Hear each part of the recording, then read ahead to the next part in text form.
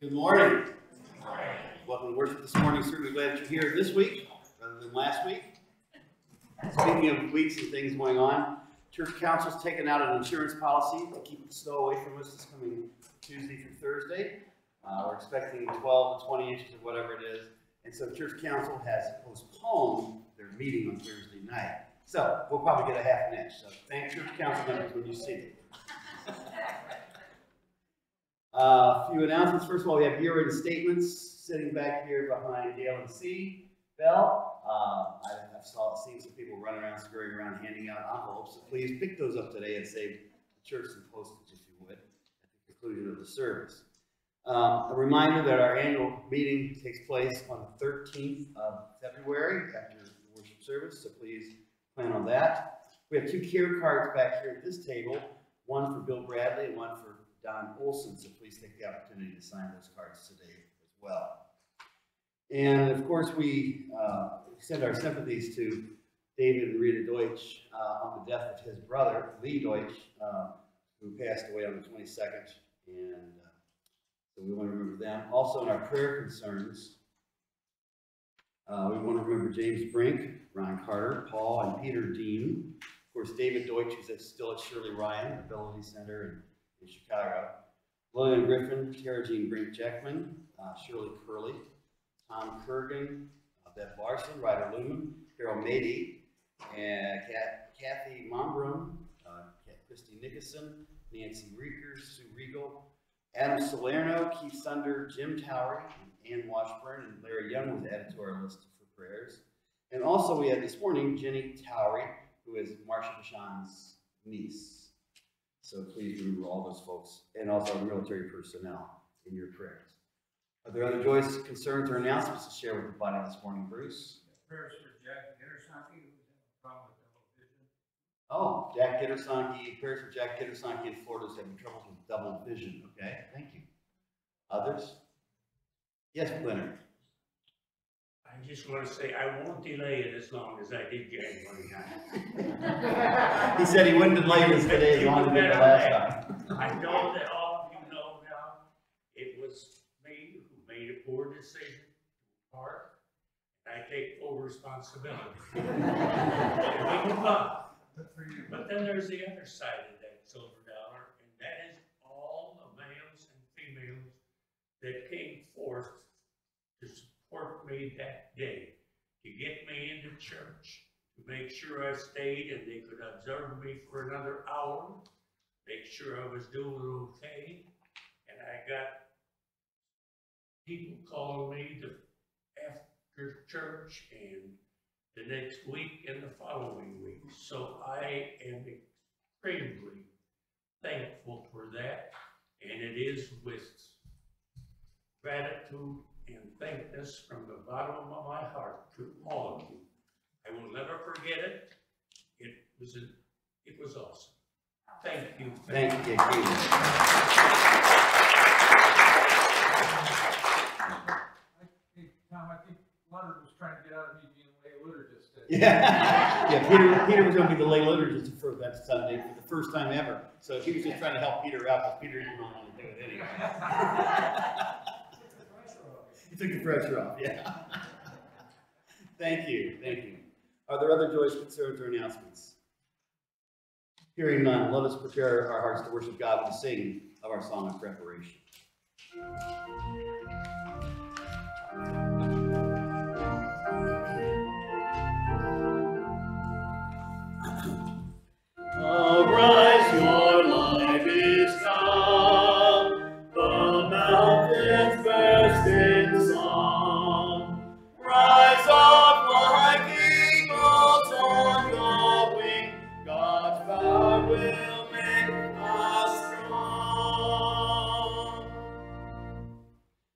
God has called us to share the good news of God's love. But who am I that God should call me? You are a beloved child of God. But I am weak. I'm not a great speaker or preacher. God is with you. Don't be afraid. Lord, help me to trust in your presence with me. Help me to serve you. We join together in our opening prayer. Gracious God, you come to you this day, seeking your guidance and strength. You have called us to ministries for which we feel inadequate. Help us to understand that it is in your love that you will support and sustain our efforts. Give us the courage to place our trust in your abiding presence. We ask this in Jesus' name. Amen. Let us now join together in singing our opening hymn, and with those who are able, please rise.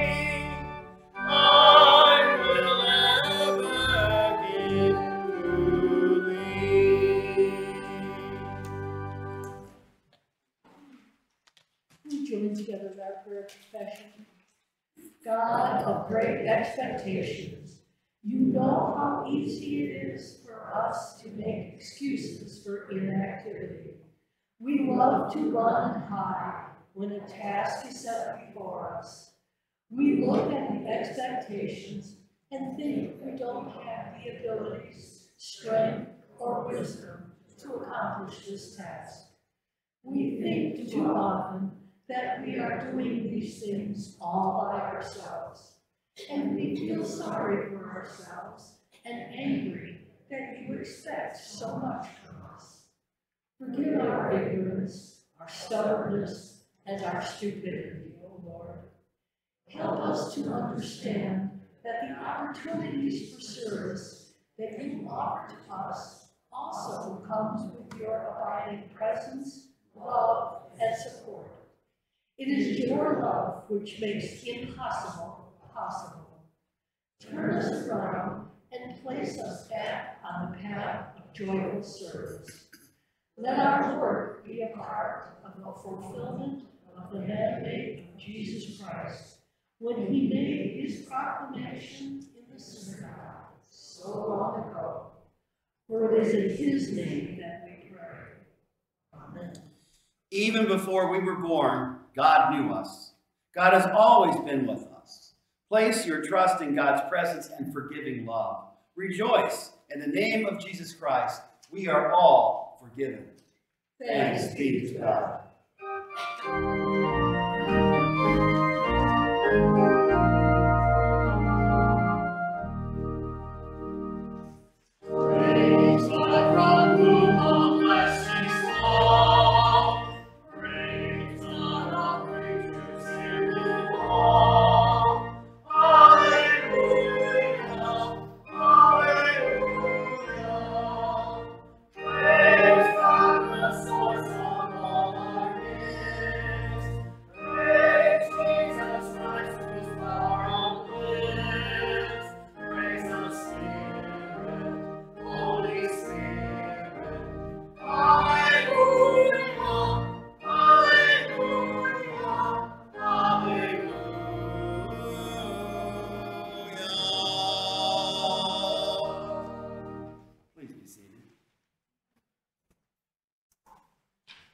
Our Hebrew Bible lesson this morning is from the first chapter of Jeremiah, verses 4 through 10.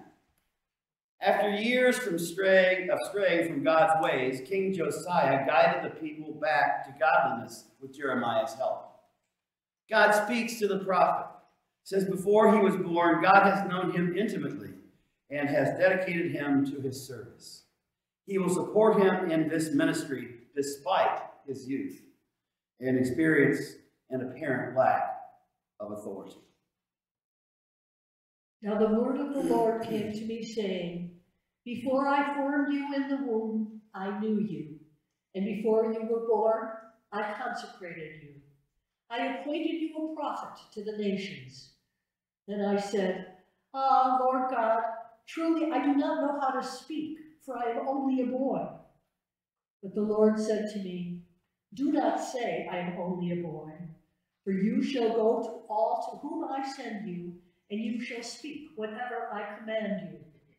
Do not be afraid of them, for I am with you to deliver you, says the Lord. Then the Lord put out his hand and touched my mouth. And the Lord said to me, Now I have put my words in your mouth. See, today I appoint you over nations and over kingdoms, to pluck up and to pull down, to destroy and to overthrow, to build and to plant. And our epistle lessons from 1 Corinthians chapter 13, verses 1 through 13. Paul has further instructed the Christians at Corinth about the gifts of the Spirit, telling them that three groups of gifted people are especially important, namely apostles, who spread the good news, prophets, who tell of new insights into the faith, and teachers of the faith. Now he says that the most important is love, the expression in the community of God, Christ's love for us. If I speak in the tongues of mortals and of angels, but do not have love, I am a noisy gong or a clanging cymbal.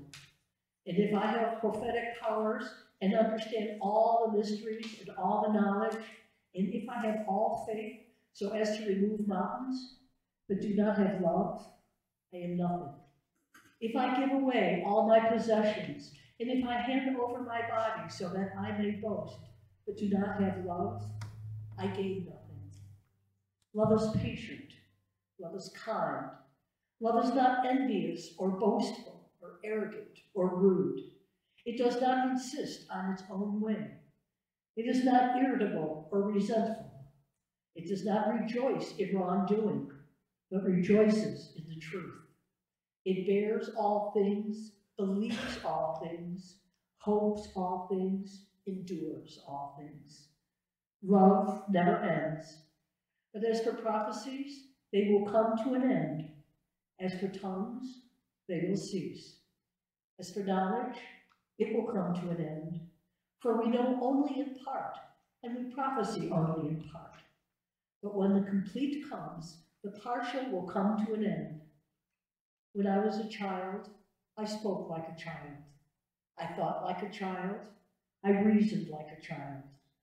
When I became an adult, I put an end to childish ways. For now we see in a mirror dimly, but then we will see face to face.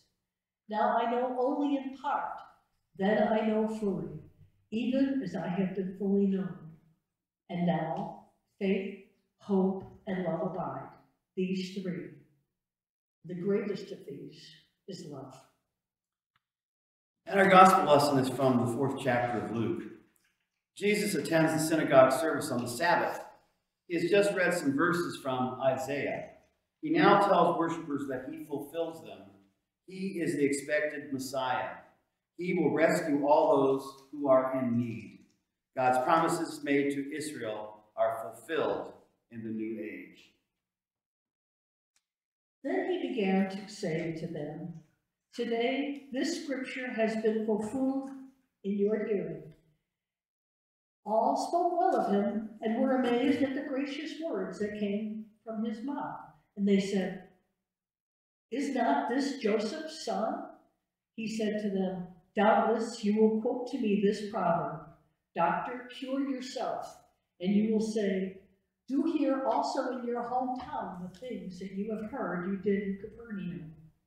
And he said, Truly I tell you, No prophet is accepted in the prophet's hometown.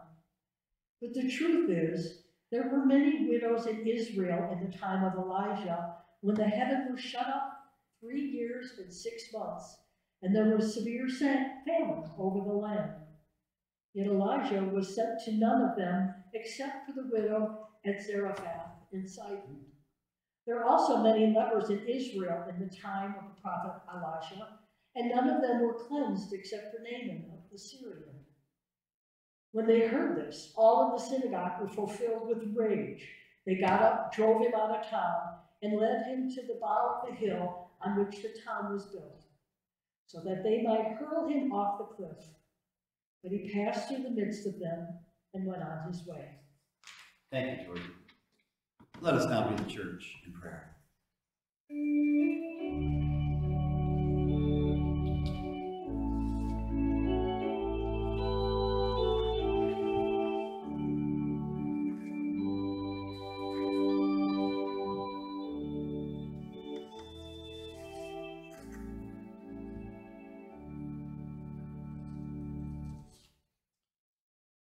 God, your love is patient. We give you thanks for all those who have been patient with us, teaching us and caring for us in so many ways. We pray for the patience to love others as you have loved us. Oh God, your love is kind. Thank you for every unexpected gesture of kindness we have received. Give us the courage to be kind to others, serving those who seem unkind, rude, or difficult to love in these difficult days. Remind us that each one we meet is your child, our sister or brother, made in your image. Oh God, your love is not arrogant. It does not seek its own interest. Thank you for all who work to serve those who cannot fend for themselves. Strengthen those who have lost hope and confidence in their own value. Give us insight to speak the truth in love and to work for change that creates opportunities for those on the margins and respect for any who face discrimination. Oh God, your love is not quick tempered. Thank you for every occasion when someone spared us from their anger. We pray for those who are filled with anger and for all around them who face or fear violence. Raise up advocates for children and elders who are abused and rescue those who are trapped in relationships that injure and harm. Oh God, your love bears all things. It never fails. We thank you for those we have loved in this life and who now dwell in the peace and joy of your presence. Let your comfort settle on those who are bereaved or lonely this day. We remember before you those with heavy burdens, many cares, much stress, and those who find too little comfort and help. Open our eyes to those in need around us and show us how to offer support and companionship for the sake of Christ, our friend and Savior, who taught us to pray together, saying, Our Father, who art in heaven, hallowed be thy name. Thy kingdom come, thy will be done, on earth as it is in heaven. Give us this day our daily bread, and forgive us our debts, as we forgive our debtors. And lead us not into temptation, but deliver us from evil. For thine is the kingdom, and the power, and the glory forever. Amen.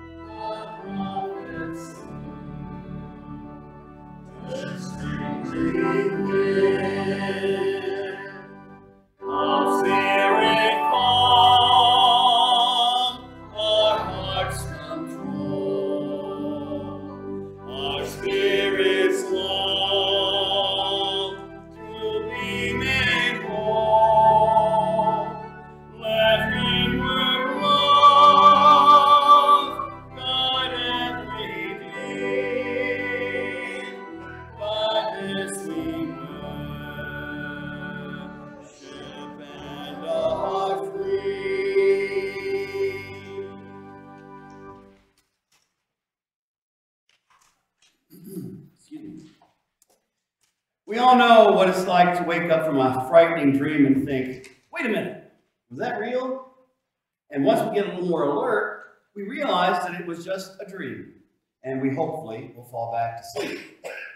Psychologists say there's one type of dream that is nearly universal. Can you guess what it is? It's the dream of being unprepared for an exam.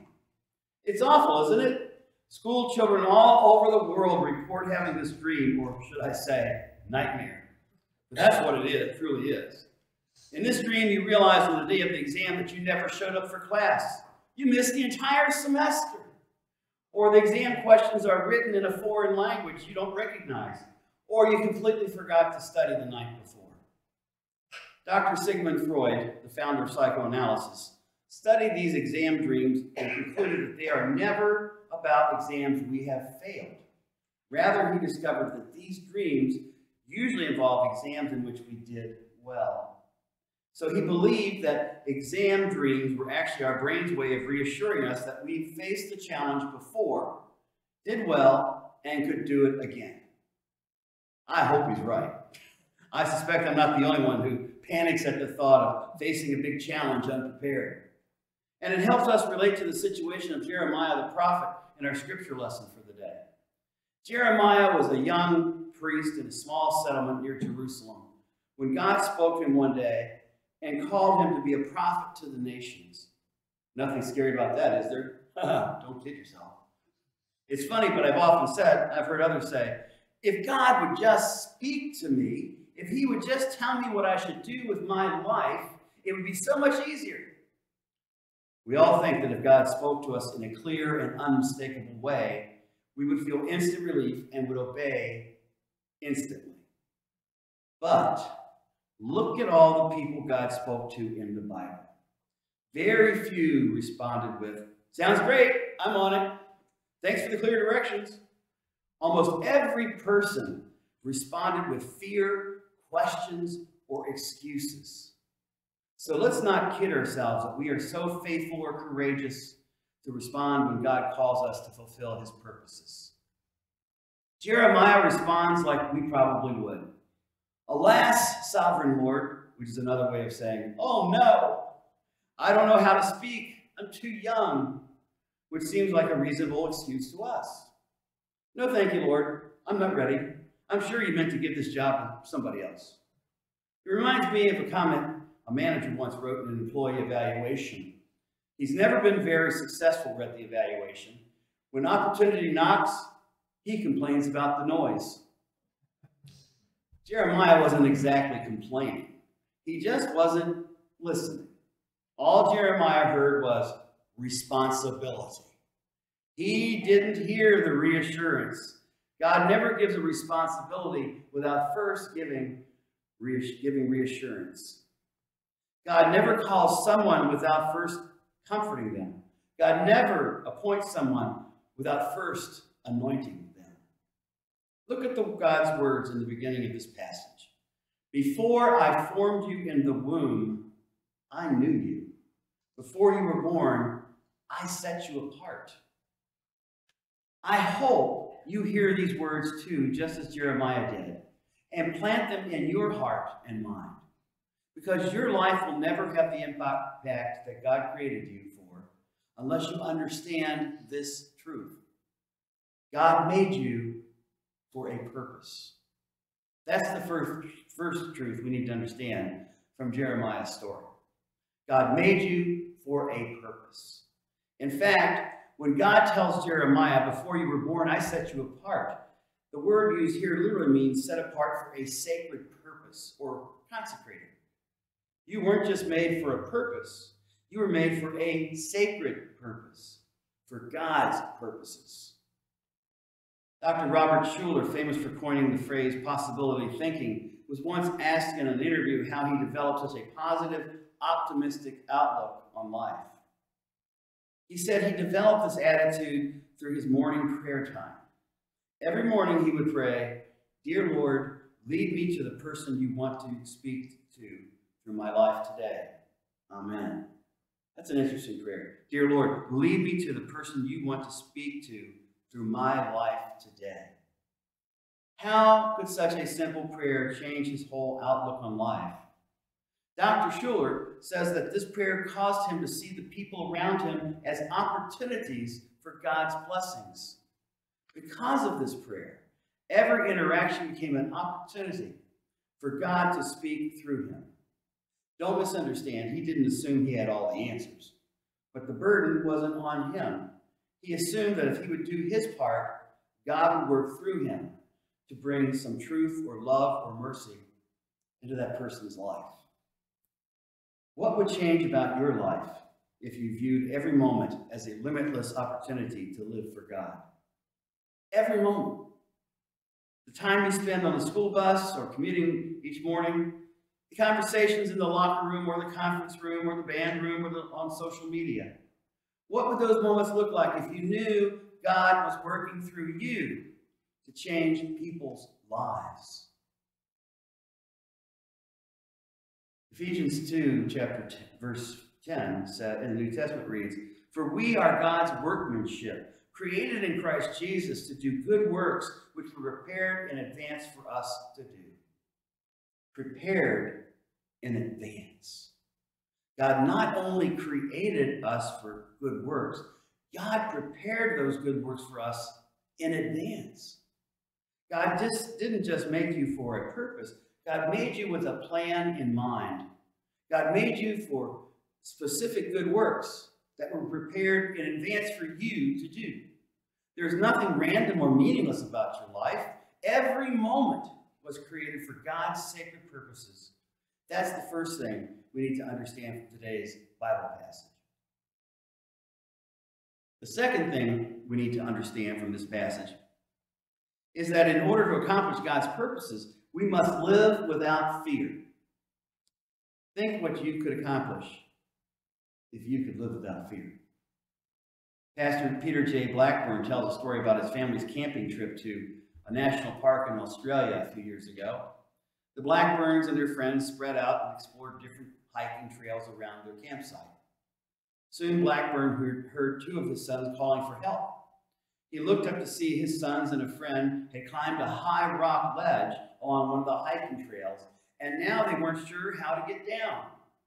Fortunately, the boys discovered a safe route on their own and soon rejoined the family at the campsite.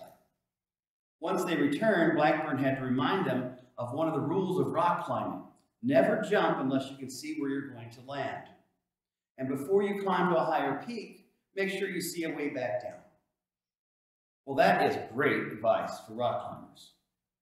That is not great advice for followers of Jesus Christ. God says, jump, and I will catch you. God says, climb out on the higher peak and trust that I will show you the way. Listen to God's words to Jeremiah. Do not say, I am too young. You must go to everyone I sent you to and say whatever I command you. Do not be afraid of them, for I am with you and will rescue you, declares the Lord. How many opportunities are lost to fear? Particularly the fear of rejection. Personally, I've never heard of anyone dying of rejection. How many blessings wither and die in the face of our excuses? Fear shrinks our vision. Fear stunts our potential. Fear steals our internal, eternal impact. How? By making us doubt God's calling. Listen to God's words again. Do not be afraid of them, for I am with you and will rescue you, declares the Lord. Repeat to yourself three times a day or 30 times a day, I will not be afraid, for God is with me and will rescue me. Then see what opportunities God opens up for you. Let me tell you about somebody who conquered her fear and, and, and, is doing wondrous good in her community. After suffering through an abusive relationship, an addiction to alcohol, and a cancer diagnosis, Deborah Constance found success and stability as vice president of a major realty company in Los Angeles, California. In her role as vice president, she was also in charge of her company's philanthropic, philanthropic giving. As a result, she developed a heart for kids in disadvantaged, crime-plagued neighborhoods in South Central Los Angeles. Through her volunteer work with these kids, Deborah sensed that she had a larger mission than running a successful real estate company. When she shared this growing conviction with a friend, he asked her, What do you really want to do with your life? Without thinking, Deborah responded, All I really want to do is open a safe house for the children at Jefferson High School. Her friend answered, Then do it. And then the panic set in. Deborah began listing all the reasons that she couldn't open a safe house for kids. She herself had dropped out of high school. It would cost too much money. She didn't have the education or the work experience. And Deborah's friend, friend looked her in the eye and said, You can do it, and you must do it. That conversation led to the founding of a community center named A Place Called Home that serves hundreds of young people every day in one of the most dangerous neighborhoods in Los Angeles. The workers at A Place Called Home offer counseling, academic tutoring, mentorships, vocational training, after-school programs in the arts, and various sports. They also provide college scholarships, job placement, and a safe hangout for kids and teens. How many lives have been changed? How many lives will be changed because Deborah Constance's friend challenged her with the words, You can do it, and you must do it. To accomplish God's purposes, we must live without fear. And the final thing we need to understand from the story of Jeremiah is that in order to accomplish God's purposes, we must trust God's plan. Doing great things for God begins with simple trust that the one who has called us will not forsake us as we seek to follow his call. I was struck recently by some wise words written by finance blogger Bob Lotich, comparing God with professional quarterback Tom Brady. And no, he didn't say Brady can walk on water, although I'm sure some of his fans think he can. Here's what Lotich wrote. God loves throwing lead passes. I know we have at least one major football fan here this morning, but what does leading pass mean? God loves throwing leading passes. Lotich explains that a leading pass in football is when the quarterback throws a long pass not to where a receiver is, but to where a receiver is going. For a lead pass to work, the receiver runs ahead of the ball being thrown and trusts that the quarterback is going to throw it just to the right spot. Bob writes, with God, when you follow his principles, the results are almost always delayed. As in when he asks you and me to do something, we rarely see the results immediately. We have to keep doing what we know he's told us to do, running, and trusting that God will get us the results, the ball, somewhere downfield. If I were playing catch with NFL quarterback Tom Brady and he said, just start running and the ball will be there when you get there, I would trust him. He has seven Super Bowl championship rings that prove he can sufficiently get the ball to a receiver downfield. How much more can we trust God when he says, just start running? I'll take care of the rest. Whatever you are trusting him for today, says Bob Lotich, just keep running and trust that he's got it all worked out. I love Bob's conclusion. Whatever you are trusting God for today, just keep running and trust that he's got it all worked out. That's what Jeremiah learned to do. God didn't choose Jeremiah because of his outstanding skills and charisma. Look at the final verses from today's Bible passage. The Lord reached out his hand and touched my mouth and said to me, I have put my words in your mouth. See, today I appoint you over nations and kingdoms to uproot and tear down, to destroy and to overthrow, to build and to plant. God's plan is not about you. It's not about me. It's about God working through us. As the Lord said to Jeremiah, I have put my words in your mouth. But God gives us a choice. What we give to God, he will use for his purposes. So what would happen if you gave everything to him? My friends, God made you for a sacred purpose. You can't unhear that truth. Every moment you are alive is a sacred opportunity to do good works that God prepared in advance for you to do. The only obstacle standing between you and God's sacred purpose is your willingness? Will you give every part of your life to God? Will you refuse to let fear shrink your vision? If so, God can use you to bring hope and salvation to people who might never meet Him any other way. Decide today to trust everything to God's purposes, and God will use you to make an eternal impact in others' lives. Amen.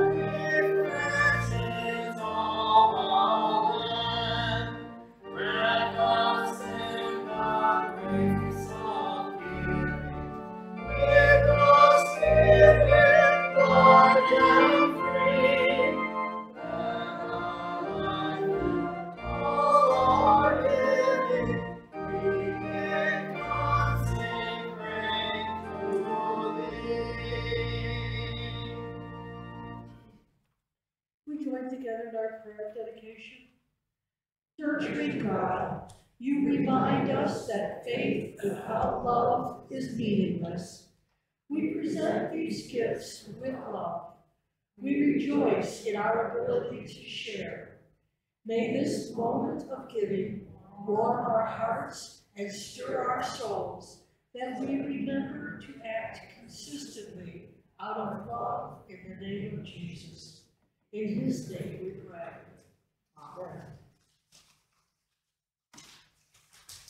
Amen.